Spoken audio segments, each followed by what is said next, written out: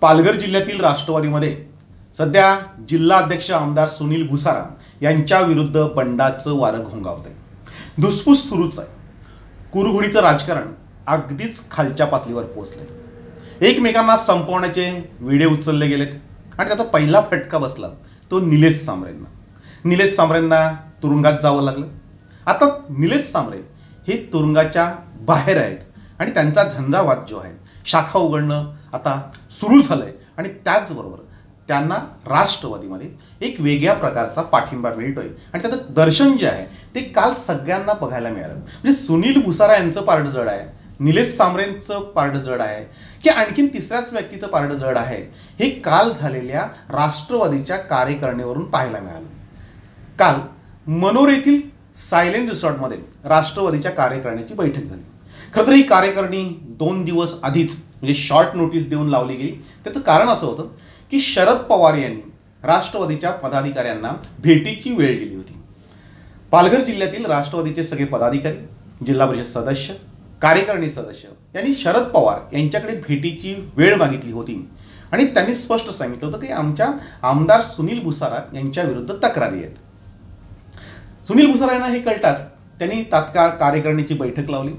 म्हणजे काही जे सदस्य आहेत किंवा पदाधिकारी आहेत हे शरद पवार यांच्या भेटीला जाऊ नयेत म्हणून त्यांनी ती खेळ खेळली. मग ती खेळ त्यांच्याच अंगास आली. आणि सुनील भुसारांच्या बरोबर किती लोक आहेत आणि त्यांच्या विरोधात किती लोक आहेत हे मात्र तिथे दिसून आलं. काल जी भेट झाली शरद पवारांची सिल्वर ओक येथे काल सकाळी सगळे पदाधिकारी भेटले.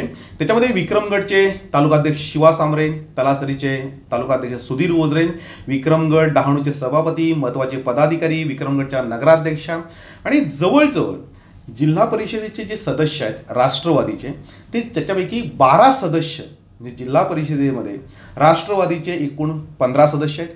एक निलेश सांबरे हा राष्ट्रवादीच्याच बरोबर आहेत. म्हणजे एकूण सोळा जे सदस्य आहेत त्याच्यापैकी बारा सदस्य हे या बैठकीला कार्यकारिणीच्या बैठकीला सुनील भुसारांच्या विरोधातल्या लोकांनी बंड पुकारलं आणि ते थेट शरद पवारांना भेटायला गेले. हे बारा लोक हजर नव्हते आणि फक्त चार जिल्हा परिषद सदस्य.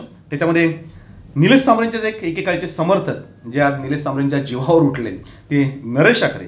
त्याच्यानंतर काशीनाथ चौधरी आणि दोन महिला सदस्य. म्हणजे एकूण चार जिल्हा परिषद सदस्य या कार्यकारिणीच्या बैठकीत उपस्थित होते आणि बारा लोक ही शरद पवार यांच्याकडे तक्रार घेऊन गेली होती. याचा अर्थ स्पष्ट झाला की निलेश सांबरे यांना उपाध्यक्ष पदावरून हटवण्यासाठी सुनील भुसाराम गेले काही महिने प्रयत्न करत आहेत राष्ट्रवादीमध्ये मोठ्या प्रमाणावर त्यांनी बांधणी सुरू केली होती. मात्र कालचं जे पिक्चर जे होतं ते क्लिअर झालंय की निलेश सांबरे यांच्याबरोबर जवळजवळ बारा लोक आहेत.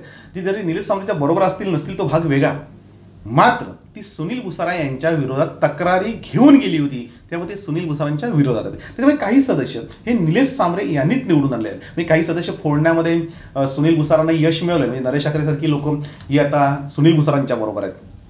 मात्र बारा सदस्य हे विरोधात होते. त्याचबरोबर जे सभापती उपसभापती पालघर जिल्ह्यामध्ये निवडून आलेले आहेत. त्याच्यापैकी एक दोन जर सभापती वगळले सभापती उपसभापती वगळले तर सगळेच्या सगळे हे शरद पवारांना भेटायला गेले होते. म्हणजे पदाधिकारी नव्हते. अगदीच निवडून आलेले सदस्य नव्हते. त्याचबरोबर कार्यकारिणी सदस्यही मोठ्या संख्येने हे शरद पवार यांच्याकडे तक्रारी घेऊन गेले होते. शरद पवार यांनी सगळ्यांना वेळ दिला. सर्वांची मतं ही जाणून घेतली. ते सर्वांशी बोलले. म्हणजे अगदी तालुका निहाय सगळ्यांना बोलवलं. आणि सगळ्यांनीच सुनील भुसारा हे सहा वर्ष जिल्हा अध्यक्ष आहेत आणि सहा वर्षात यांनी जिल्ह्यामध्ये काय दिवे लागले या सगळ्याच्या सगळा पाढा तिथे वाचला. म्हणजे नगर परिषद परिषदांमध्ये काय झालं ग्रामपंचायतीमध्ये काय झालं ते निवडून कसे आले? म्हणजे निलेश सांबरे यांचा पैसा आणि सौरांचा विरोध ह्या दोनच गोष्टींवर हे निवडून आले होते. आणि निवडून आल्यानंतर त्यांनी काय काय उपद्व्याप केले? म्हणजे अगदीच निलेश सामरेंचं प्रकरण सांगितलं गेलं की निलेश सामरेंना जेलमध्ये घालवण्यापर्यंत किंवा त्यांना तडीपार करण्यापर्यंत त्यांनी प्रयत्न केले होते. खरं तर शरद पवारांना हे सगळं प्रकरण माहीत होतं. की शरद पवारांनीच या प्रकरणात शेवटच्या क्षणी लक्ष घातलं होतं. निलेश सामरे यांना त्यांनी पाठीशी घातलं होतं. त्यांना मदत केली होती. तर शरद पवारांनी निलेश सांबरेला जर मदत केली नसती तर निलेश सांबरेंचे सुनील भुसारांनी बारा वाजवले असते. हे शंभर टक्के सत्य होतं. म्हणजे अगदी त्यांनी शेवटचं टोक गाठलं होतं. मग तर शेवटच्या क्षणी शरद पवारांनी त्यांना मदत केली. खरं तर सुनील भुसाराम निलेश सांबरेंच्या एवढ्या विरोधात का गेलेत याची चर्चा जिल्हाभरामध्ये आहे. मात्र निलेश सांबरे यांनी सुनील भुसारांना निवडणुकीमध्ये प्रचंड मदत केलेली आहे हे सगळ्यांना माहिती आहे. म्हणजे अगदी सौरा हेमंत सौरासारख्या चांगल्या माणसाला पाडण्यामध्ये निलेश सांबरेंनी ज्या काही घडामोडी केल्या त्या त्यांच्या अंगास आल्या होत्या. मात्र सुनील भुसारांचा जो स्वभाव बघितला म्हणजे ते सांगण्यात आलं पवारांना आणि ते आमच्याकडे काही माहिती आली त्याच्यामध्ये. त्यांना सांगितलं की भुजबळांना कसं फसवलं? म्हणजे छगन भुजबळ हे त्यांचे कौटुंबिक जिव्हाचे संबंध होते त्यांच्या वडील असताना. चंद्रकांत भुसारा असताना अत्यंत चांगल्या प्रकारे म्हणजे भुजबळ फॅमिलीमुळेच ही भुसारा फॅमिली वर आली होती. तर त्या भुजबळांना कसा देगा दिला? त्याच्यानंतर ज्या आनंद ठाकूरांनी सुनील भुसारा यांना वर आणण्याचा प्रयत्न केला अगदी ते काही नव्हते. त्याच्यानंतर आनंद ठाकूरांचे खासम खास ओळखले गेले होते. त्या आनंद ठाकूरांच्या पाठीमध्ये कसा सुरा खुपसला त्याच्यानंतर शरद पवार यांच्या अगदी जवळचे आणि विश्वासातले समजले जाणारे जिल्ह्यातील एक प्रस्थ आहेत डॉक्टर सुहास संघे. हे जिल्ह्यातलं मोठं प्रस्थ मानलं जातं. आणि सुनील भुसारांना त्यांनी प्रचंड मदत केलेली आहे. आज हे सुहास संखे यांनाही दगाफटका झाल्याचं माहिती आहे. त्याच्यानंतर निलेश सांबरेला तर पार लटकवलं होतं. म्हणजे आत्ता ही परिस्थिती अशी आहे की कालच्या कार्यकारिणीमध्ये अगदीच सुनील भुसारांनी स्पष्ट भाषेमध्ये अगदी आपल्या भाषणात सांगितलं. की त्यांनी पक्षात प्रवेश केला नाही. त्यांचं कोणीही तुम्ही ऐकू नका आणि त्यांनी आम्हाला अक्कल शिकवण्याच्या भानगडीत पडू नये. म्हणजे पहिल्यांदा आम्ही हे सगळं ऐकतो किंवा त्या पेपरमध्ये छापून आले ते पाहतोय की निलेश सांबरेंना थेट अंगावर घेण्याची हिंमत ही त्यांनी दाखवली. म्हणजे ज्यांनी ज्यांनी सुनील भुसारांना मदत केलेली आहे त्यांच्या त्यांच्याशी सगळ्यांशी दगाफटका कसा केला हे सगळं पवारांच्या कानावर घातलं. शरद पवारांनी तात्काळ ह्या सगळ्या गोष्टी ऐकून मी लवकरच म्हणजे पंधरा दिवसापर्यंत त्या पंधरा दिवसाच्या आत मी पालघर जिल्ह्याच्या दौऱ्यावर येतोय. आणि सगळ्या गोष्टी आपण समोरासमोर सगळ्यांशी ऐकून घेऊ.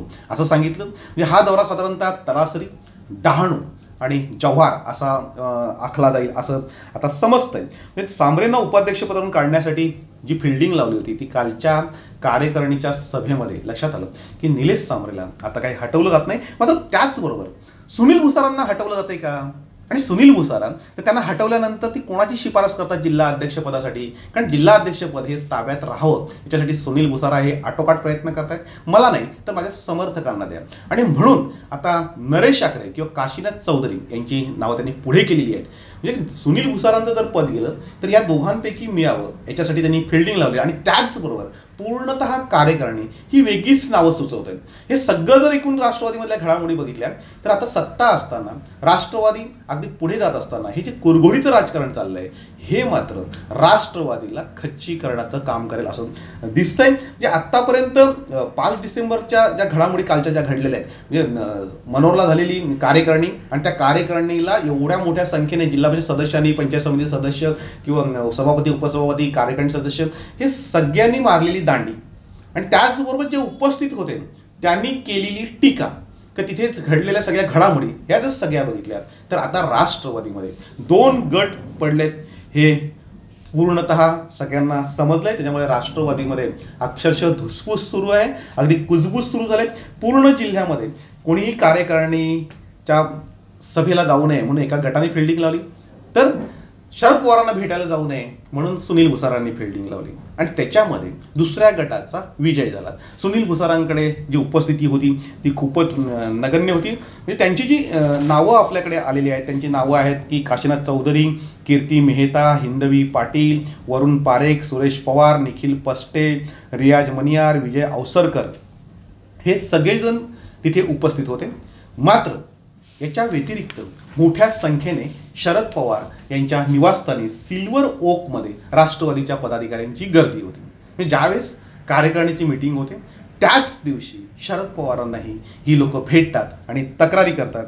हे विशेष विशेष म्हणजे त्यांनी सांगताना असं सांगितलं म्हणजे तिथले काही रेकॉर्डिंग आमच्याकडे आल्यात. भुसारांनी आमदार झाल्यानंतर नवाजणे आणि धज करणे याच्या पलीकडे अगदी काहीही केलेलं नाही. सोशल मीडियावर अत्यंत वाईट पद्धतीने आणि खोटा प्रचार चालवणं त्याच्यामध्ये राष्ट्रवादीची इमेज खराब होते. आपण जे काही लोक अवतीभोवती जी पाळलेली आहेत त्यांच्या थ्रू चुकीची प्रसिद्ध करणं. म्हणजे त्यांनी मोठा एक आव्हान केलं होतं की मोठी घोषणा केली होती की आम्ही बारामतीच्या धर्तीवर विकास करू. आणि ह्या बारामतीच्या धर्तीचा विकास म्हणजे कोणत्या खालच्या पातळीवर जाऊन पोहोचलाय याची सगळी उदाहरणं ही पवारांकडे दिली. आणि विशेष म्हणजे त्या बैठकीमध्ये शरद पवारांकडे ज्या सगळ्या गोष्टी घडल्या गेल्या त्या आपसुकपणे ह्या बाहेर फुटल्या गेल्या. सगळ्यांना त्या माहिती झाल्या. अगदी मशाल कार्यालयापर्यंत पोहोचल्या. आणि याचा अर्थ मोठ्या प्रमाणावर राष्ट्रवादीमध्ये धुसफूस सुरू आहे स्पष्ट होत आहे आता त्याच्यामध्ये निलेश सामरेंचा आता सध्या तरी निलेश सामरेचं पार्ट जड आहे. मात्र भविष्यामध्ये निलेश सामरे भारी पडतात. की सुनील भुसारा याच्याकडे जिल्ह्याचं लक्ष लागले का कदाचित हे दोघेही एकत्र येतील असंही काही समर्थकांचं म्हणणं आहे की दोघांचेही हात अडकलेले असतील एकमेकांच्या तंगड्या गुंतलेल्या असतील. आणि त्यामुळे हे जर दोघे एकत्र आले तर त्यांच्या बाजूने असलेले समर्थक मात्र उघडे पडतील. आणि म्हणून उलट सुलट ज्या ज्या चर्चा सुरू झालेल्या आहेत त्याच्यामध्ये पवार साहेबांचा जेव्हा दौरा होईल तेव्हा शरद पवार आल्यानंतर नेमकं काय होतंय याच्याकडे सगळ्यांचं लक्ष लागलेलं आहे. पुढची बातमी आहे ओबीसी संघटनेची. ओबीसी संघटनेचा आता झंझावात हा वाडा तालुक्यामध्ये सुरू झालेला आहे. ओबीसी आणि व्हीजेएनटी संघर्ष समन्वयित समितीची आजची सभा ही वाड्यामध्ये झाली. सहा डिसेंबर रोजी कुणबी समाजगृह गांधरे येथे झाली आणि त्या सभेमध्ये कार्यकारिणी जाहीर करण्यात आली. या कार्यकारिणीच्या अध्यक्षपदी वाडा तालुका अध्यक्षपदी संदीप पवार या भाजपा नेत्याची निवड करण्यात आलेली आहे. या बैठकीला एकनाथ वेखंडे अशोक गव्हाळे सुवर्णा पाटील नरेश आकरे रोहिदास शेलार प्रफुल्ल पाटील वर्षा गोळे अमोल पाटील यांच्यासह अन्य पदाधिकारी मोठ्या संख्येने उपस्थित होते. लवकरच एक मोठं आंदोलन उभारलं जाईल. लोकांमध्ये जनजागृती केली जाईल असं याच्यामध्ये ठरलेलं आहे. एक चांगली बातमी आहे. कोरोना रुग्ण बरे होण्याच्या टक्केवारीमध्ये आता पालघर जिल्हा हा अव्वल क्रमांकावर आहे. पूर्ण राज्यामध्ये सर्वात जास्त जे टक्केवारी जी आहे रुग्ण बऱ्या होण्याची ती पालघर जिल्ह्याची आहे. म्हणजे पालघर जिल्ह्यामध्ये आत्तापर्यंत शहाण्णव पॉईंट शहाऐंशी टक्के रुग्ण हे बरे झालेले आहेत. दुसऱ्या क्रमांकावर धुळे आहे धुळ्याला शहाण्णव पॉईंट बासष्ट टक्के नाशिक शहाण्णव पॉईंट सत्तेचाळीस टक्के कोल्हापूर शहाण्णव पॉईंट पाच टक्के सांगली पंच्याण्णव पॉईंट छत्तीस टक्के आणि औरंगाबादमध्ये पंच्याण्णव पॉईंट अठ्ठावीस टक्के. म्हणजे पूर्ण महाराष्ट्रामध्ये पालघर जिल्ह्यातील आरोग्य यंत्रणे अत्यंत चांगल्या प्रकारे काम केलेलं आहे. आणि त्याच्यामुळं त्यांचा पूर्ण राज्यामध्ये पहिला क्रमांक आलेला आहे. पालघर जिल्ह्यामध्ये कोरोना रुग्ण बरे होण्याची टक्केवारी ही तुलनात तुलनात्मक चांगली असली तरी नागरिकांनी दक्ष राहणे व आवश्यक सावधगिरीचे उपाय अंमलात आणणे आवश्यक आहे असं आव्हान डॉक्टर मानिक गुरसळ जिल्हाधिकारी पालघर यांनी केलेलं आहे. पालघर जिल्ह्याच्या ग्रामीण भागात आतापर्यंत चौदा हजार आठशे वीस नागरिकांना कोरोना रुग्ण झाला होता. त्यापैकी चौदा हजार तीनशे पाच रुग्ण हे बरे झालेले आहेत. पालघर जिल्ह्याच्या ग्रामीण भागामध्ये सद्यस्थिती दोनशे एकोणीस नागरिकांना संसर्ग झाला असून त्यापैकी पालघर तालुक्यात एकशे एकोणचाळीस डहाणू तालुक्यामध्ये एक्कावन्न वाडा तालुक्यात अकरा रुग्णांचा हा समावेश आहे. म्हणजे पालघर जिल्ह्यातील आरोग्य यंत्रणा अत्यंत चांगल्या प्रकारे काम करते. आज एकूण अठरा रुग्णांची नोंद झालेली आहे. त्याच्यामध्ये पालघर तालुक्यातले सोळा आहेत. पालघर तालुक्यामध्ये रुग्ण मोठ्या प्रमाणात पुन्हा एकदा वाढायला लागले आहेत. आणि म्हणून सगळ्यांनी काळजी घेणं गरजेचं आहे. पालघर नगर परिषदेमध्ये सात मनोरमध्ये एक टॅप्स कॉलनीमध्ये दोन बेटेगाव एक उमरोली एक बोईसर दोन आणि खैरापाडा दोन. पालघरमध्ये सोळा आणि वाड्यामध्ये दोन. बाकी कुठल्याही तालुक्यामध्ये आज रुग्णांची नोंद नाही. वाड्यामध्ये गौरापूरला एका रुग्णाची नोंद झालेली आहे. तर चिंचघर येथील एका छत्तीस वर्षीय पुरुषालाही कोरोनाची लागण झाल्याचं वृत्त आहे. म्हणजे एकूण अठरा सोळा पालघर आणि दोन वाडा असे अठरा रुग्ण आज पालघर तालुक्यामध्ये पालघर जिल्ह्यामध्ये मिळून आलेले आहेत. तर वसई विरार महानगरपालिका क्षेत्रामध्ये अजूनही काही प्रमाणात रुग्ण वाढत आहेत. तिथे आजची रुग्णांची संख्या ही चव्वेचाळीस आहे. त्यामुळे एकूण रुग्णांची संख्या ही अठ्ठावीस हजार चारशे तीसवर जाऊन पोहोचली आहे. त्याच्यापैकी सव्वीस हजार नऊशे छप्पन्न बरे झालेले आहेत. आणि सहाशे सात रुग्ण हे ॲक्टिव्ह पेशंट्स आहेत. सात जे रुग्ण आहेत त्यांचे अहवाल येणं बाकी आहे. आणि आठशे सदुसष्ट रुग्णांचा मृत्यू झालेला आहे. म्हणजे काल आणि परवा ह्या दोन दिवसामध्ये मात्र एकाचाही मृत्यू झालेला नाही. एक धक्कादायक बातमी आहे. हैवान बापाची मुलगा सहा वर्षाचा. तो जेवत होता. जेवत असताना त्यांनी लघुशंका केली. आणि म्हणून त्या रागातून या मुलाच्या ढुंगणावर मांड्यांवर अगदी चटके देण्याची घटना घडलेली आहे. घटना घडली कल्याणमधली. जेवताना लघुशंका केल्याच्या रागातून एका हैवान बापाने सहा वर्षीय मुलाला गरम चमच्याने पार्श्वभागावर आणि दोन्ही मांड्यांवर चटके देऊन होरपळून जखमी गेल्याची धक्कादायक घटना समोर आली आहे. कल्याण पूर्वेतील विजयनगर परिसरात हा धक्कादायक प्रकार घडला आहे. या प्रकरणी कोलसेवाडी पोलीस ठाण्यामध्ये गुन्हा दाखल करून हैवान बापाला पोलिसांनी अटक केली आहे. सचिन कांबळे असं या बापाचं नाव आहे. मुलगा जेवण करत असताना अचानक त्याला लघवी आली त्यांनी तिथे लघवी केली आणि याचा राग येऊन त्यांनी त्याच्या ढुकणावर आणि दोन्ही मांड्यांवर चटके दिले. त्याच्यानंतर त्याच्या मांड्या होरपळल्या. त्याला जखमी अवस्थेमध्ये महानगरपालिकेच्या रुक्मिणीबाई रुग्णालयामध्ये दाखल करण्यात आलं. या घटनेची माहिती मिळताच पोलिसांनी तात्काळ त्याच्या वडिलांना अटक केलं आणि आज त्याला न्यायालयामध्ये हजर करण्यात आलं होतं. अशी माहिती वरिष्ठ पोलीस निरीक्षक साहूराव साळवे यांनी दिली. पुढची बातमी जी आहे की पुढचं वार्तापत्र आहे. त्या वार्तापत्रामध्ये उद्या तुम्हाला पाहायला मिळेल की एकूणच जिल्ह्यामध्ये जे रस्ते आहेत त्या रस्त्यांचं जे बांधकाम आहे ते कशा प्रकारे सुरू आहे आणि कशी वाट लागली? म्हणजे वाडा देसई वर्ण जो जाणारा रस्ता आहे खर्डीकडे त्याची अत्यंत दुरावस्था झालेली आहे. वाडा भिवंडी रस्त्याकडे कुणाचंही लक्ष नाही. आणि म्हणून या संदर्भामधल्या ठळक घोडामोडी आपण उद्या बघूया.